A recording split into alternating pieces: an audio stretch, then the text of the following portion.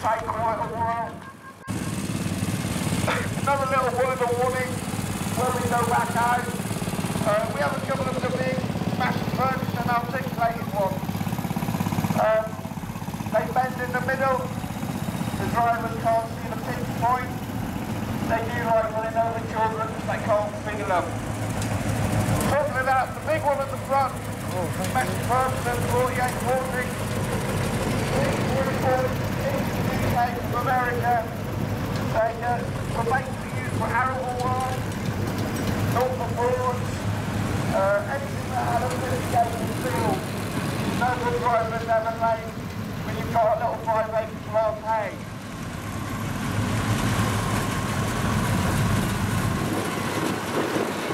One going along the front of the ring now. I'm pretty sure these are called gun masters.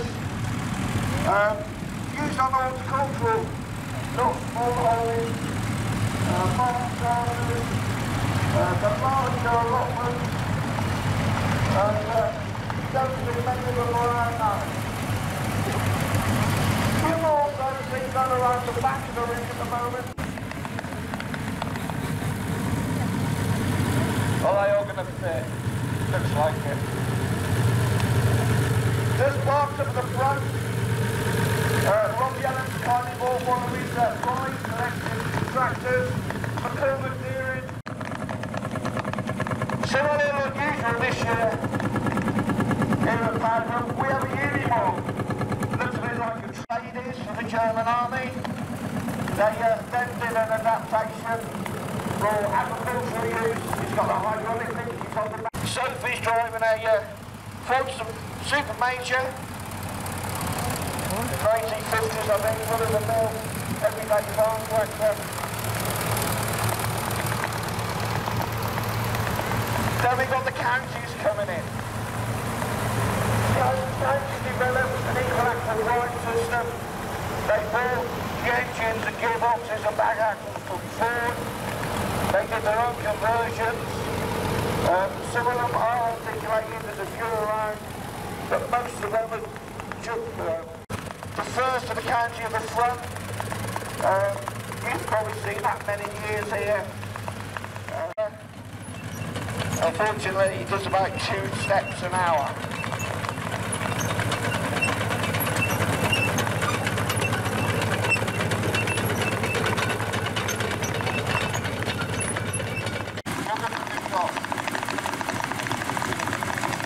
My son-in-law lead off.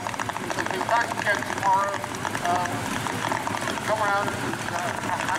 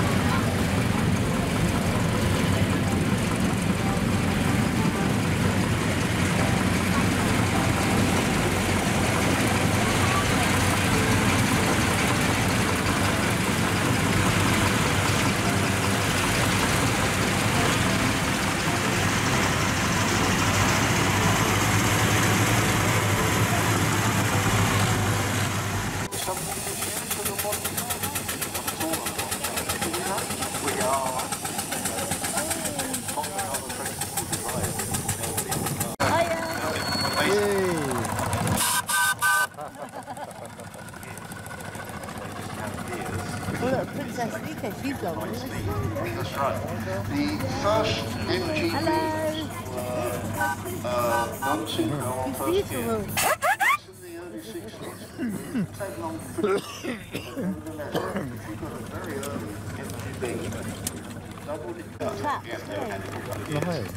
you. They do. A. Hiya. Well, that's right. And you've got to get the beer speech right. Beautiful. But then they well, in. And then they. Thank you very much for bringing it. It's lovely to see. She's beautiful. Hello. Entry here, Michael, so tell us a bit about this one. Well, glad we've got somebody to talk to us. Well, this is uh, it's a full scenic showman road locomotive. It's in four-inch scale. Sorry, Hiya. third scale.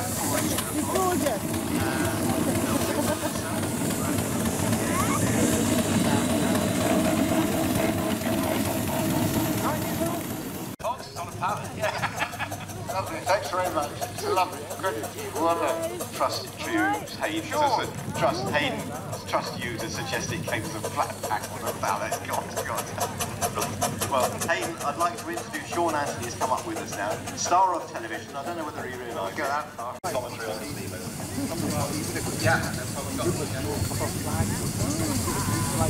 There's a lot of work, don't? Oh, don't they? Hiya, all right. Anyway, we're looking at a lovely four-inch little Foster, uh, which is owned by Tony Dizelle from Honiton. He's built, he built this engine over the last uh, four-year period. Well, four-year period. He completed it in 91, I think. Yeah. Um, four-inch Foster, brilliant little engine. I started my life with one of these, and um, great, a great engine. You can road run them. You can uh, four-inch barrel or the four-inch Foster. So uh, thank you for coming, and uh, enjoy your run around the ring.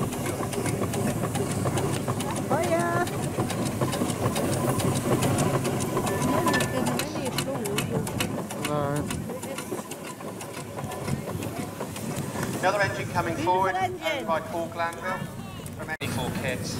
Hello. And uh, they come once a month on a pallet, and um, obviously waiting for the Love pallet the to arrive is quite an anticipated thing. Uh, this is another one here, and it's a fantastic engine. They're great on the road. They'll do about 12. 12. Thank you, Michael. Yeah. Love the engine. Another engine pulling up, uh, S107 Hagen and uh, Colette. Um, so uh, I'd like to appreciate you. Thank you for coming along, and uh, see you in a bit. Stand way. Love the engine. Open the kitchen door in the morning, half past ten at night, she to come out and say good night, the to bed. Blimey, I'm surprised she's still with you, brother. Hello. So yeah, two and a half years. That's flying. One of those. Um, fantastic engineering, and uh, you'll see that.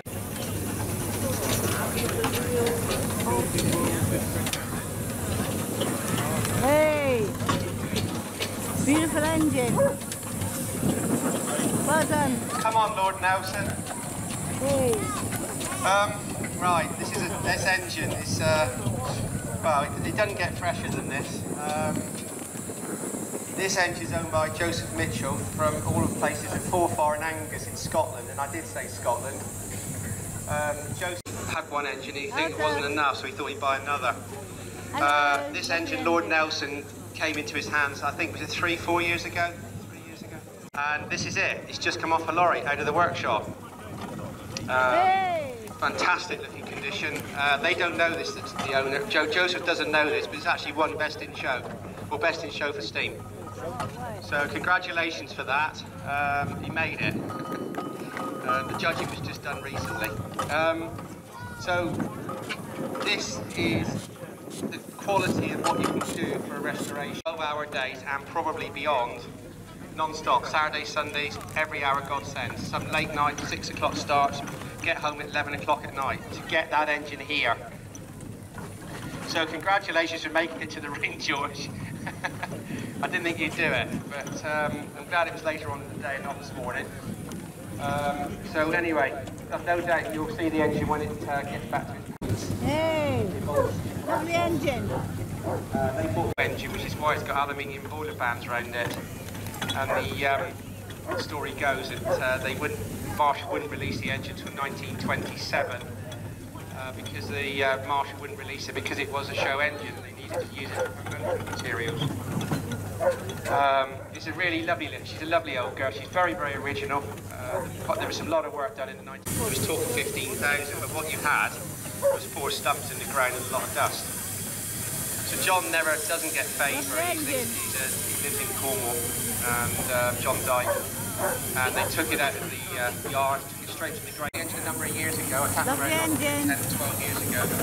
Uh, huh? 14 years ago, thank you, Richard. So yeah, Richard um, bought the engine off John Tyke, and he's had it ever since. He lives in Ilminster now with this one, and we're very lucky to get the engine here because John Richard doesn't do. Um, this engine, I do know a lot about this without looking at. This is uh, this was uh, sort of loosely constructed. Well, David Page engine, we kind of call them. There's actually two because John's son's behind him, and uh, basically these engines were built by order. And uh, bottom line is the engine never got. This engine is owned by Paul Clapham from Saltash. It's uh, um, built by David Steele of Axminster. The model was started in 2017 and was actually completed brand new uh, in 2021. Obviously, for certain reasons, the engine's not been uh, been able to be displayed. So actually, this is its first season out uh, from from being built. So this is never seen this engine before. Uh, they're great fun. The gold medal tractors are designed to. They're quite a narrow engine. Uh, they are very very fast on the road. These are. In fact, one there's a gold medal. So uh, he really it's, it's got a great fantastic background. Another engine just coming in. Uh, this is being driven by uh, David Nicholson and Matt. Uh, this is another engine owned by Joseph from Scotland. This is his other engine. Um, this particular one, Joseph came up to me and basically we were at a show and he's looking for someone to. read. Very unusual thing, but this is a beautiful engine. And uh, again, new to Powderham, and thank you very much for bringing it this year.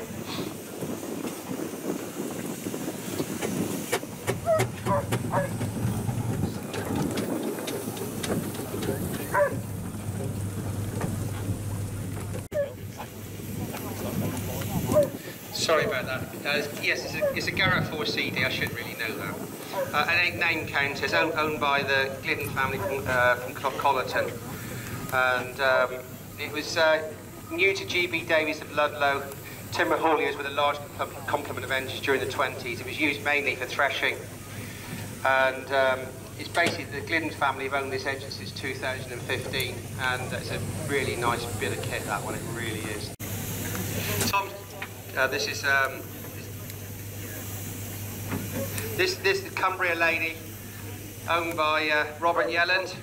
Robert's also a tractor man, so you'll find him down with the tractor section. Uh, the only enabling importer to have left the St Nicholas Works to enter the rental market.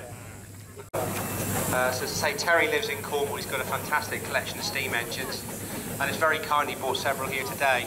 So I appreciate Terry coming along with that lot. Um, okay, we've got Chris Griffiths. He comes from Tring in Hertfordshire.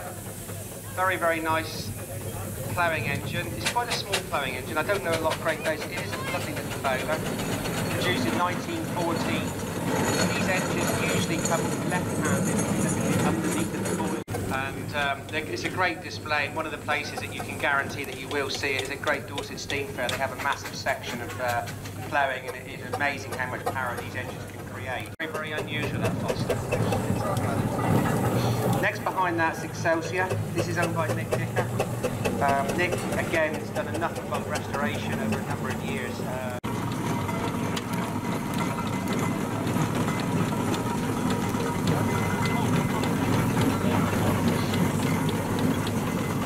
Terry Sleeman of Wadebridge was initially built as a tractor by Burrells with th- three quarters of the way through the build, a seven and a half ton tractor. The order was cancelled, so it was changed to a rig. Was purchased by the Turner brothers and converted into a showman's tractor. Was completely overhauled and renamed. It's now called the Yorkshireman. And uh, again, it's another engine from the uh, Terry Sleeman um, unit down in Cornwall. George Bolton's garage. Um, George, he, he, he does work hard. But anyway, that, that engine was in bits all over his workshop yesterday afternoon. It's coming in the same load as uh, the Lord Nelson. And um, yeah, basically, he's, he's got it here. Thanks again, Ian, George. I know you did put a lot of work into this. It's really, really appreciated. Right, okay. Yeah, so we're basically, I think the last of the engines is just coming into position now. Uh, oh, we've got um, another uh, vehicle that's not steam driven.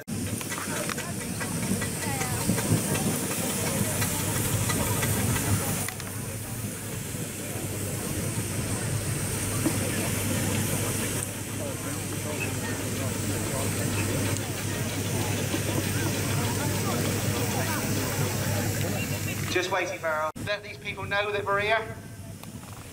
Cool, blimey, that's quiet. Come on, chaps, let's get it going. Let's ride them on.